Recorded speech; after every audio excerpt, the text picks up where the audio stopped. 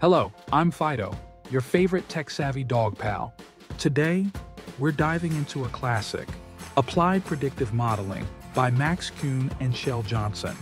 This is a must-read for anyone serious about predictive modeling, and your favorite dog highly recommends it. In this video, we'll unveil some key insights from Chapter 2. So, sit back, grab a treat, and let's fetch some knowledge. Let's get started. No fluff, just the good stuff.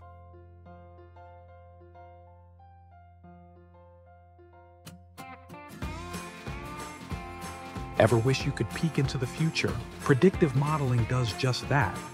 It helps us uncover hidden patterns in data to make informed guesses, like whether a startup will succeed or if a treatment will work. But humans, the choices you make before building a model impact everything.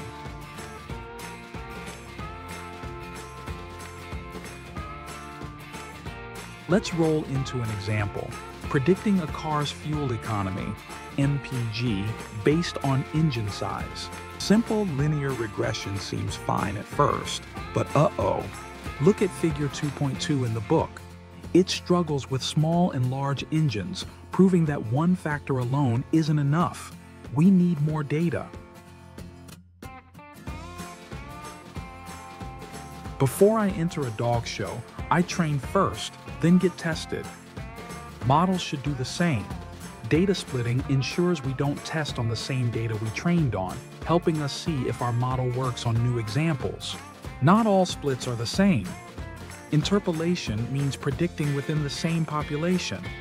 Extrapolation is when we predict for something completely new, like future car models.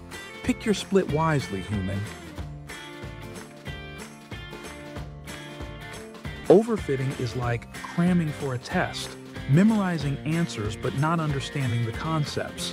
A model that's too complex learns the training data too well but flops on new examples. We got to make sure our model generalizes. Tip, use simpler models, cross-validation, and regularization to keep things balanced. How do we know if a model is good?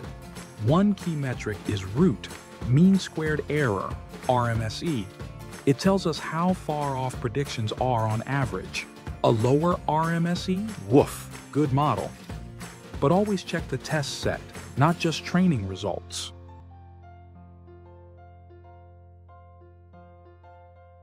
Choosing the right features is key. Instead of just using the engine size, we can combine it with vehicle weight to improve our predictions. This process is called feature engineering, and it makes models smarter without making them overcomplicated. Building predictive models isn't a straight path, it's a cycle. We test, refine, adjust, and test again. Think of it like training me for a new trick. I might need a few rounds of tweaks before I get it just right. All right, humans, we've sniffed out the best predictive modeling tips. Remember, data splitting, train test wisely, avoid overfitting, don't let your model memorize.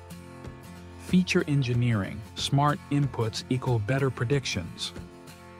Iterative improvement, keep refining your model. Now, go forth and model wisely.